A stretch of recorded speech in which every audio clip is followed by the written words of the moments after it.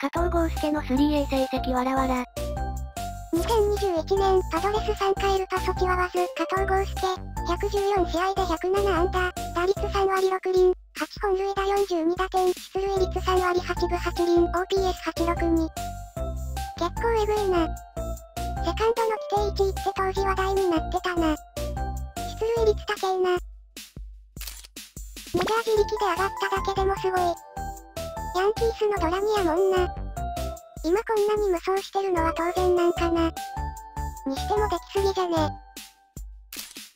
この成績の外国人選手来たら、ホーネーヤンでも強打打てるんか、ってなりそう。なんでこんな軽々ホームラン打つんだろうな。188センチって日本じゃ大型だからな。正直ここまで打つのは誤算だよな。